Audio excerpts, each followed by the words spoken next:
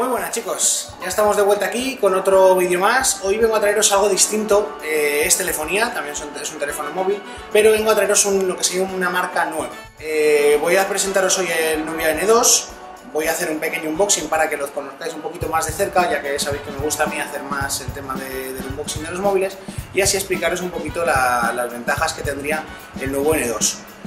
Espero que os guste. Aquí tenemos el Nubia N2, como bien os comentaba, eh, bueno, comentaros que es un terminal para Nubia de gama bastante alta. Bien, eh, el terminal en sí a mí la verdad que me ha gustado mucho estéticamente. Pensé que no me iba a hacer mucha gracia eh, porque, bueno, están muy acostumbrados en Asia al tema del negro con el dorado y la combinación de colores muchas veces no queda tan bien. Es verdad que al N2 le ha favorecido este, esta combinación de colores porque le hace un terminal bastante, bastante serio y la verdad que bastante elegante. Bien, comentaros eh, las principales características de lo que sería el N2. Eh, internamente encontramos un procesador de 8 núcleos MediaTek. Eh, para mi gusto, uno de los, procesadores más avanzados que hay, que hay en la gama y iría bastante, bastante fluido dentro del terminal.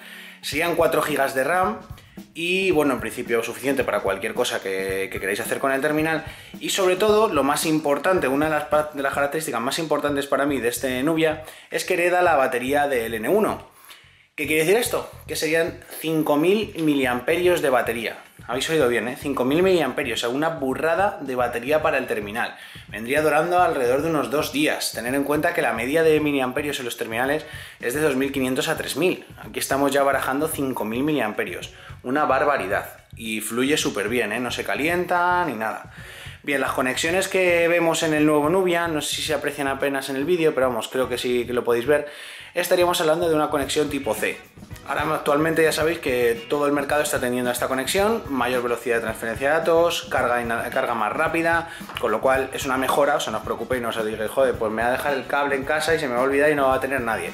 Dentro de nada empezaremos a tener todos este cargador, con lo cual olvidaros de eso. Eh, los altavoces también son bastante buenos, lo hemos probado en calidad de sonido y la verdad que es bastante buena. Y bueno, auricular jack y lo que sería la cámara eh, trasera y con el, con el LED. Vale, de la cámara eh, voy a hablar un poquito también en profundidad, ¿vale? Porque el apartado fotográfico que tiene este terminal es buenísimo. O sea, selfies, cualquier cosilla que vayáis a hacer con el terminal, para mi parecer, sería muy bueno en cuanto al aspecto fotográfico. Eh, internamente, lo que es el sistema operativo, eh, llevaría el Nubia eh, U, ¿vale? Que sería lo que es el sistema operativo de Nubia. Bien, en principio a mí me gusta bastante, es verdad que es muy sencillo, me recuerda muchísimo, no sé si a vosotros también, que imagino que ya os habrá pasado en cuanto lo habéis visto encendido, que es el tema del sistema operativo de Huawei es completamente igual al de Huawei, ¿vale? No llevaría eh, ningún tipo de, botón de aplicaciones ni líos de esos, todo directamente en la pantalla, tipo iPhone o tipo Huawei, y lo permite perfectamente hacer carpetas, usar widgets de, de lo que es Android y llevaría el nuevo Android, con lo cual la velocidad 7.0, pues ya imaginaros, bastante alta.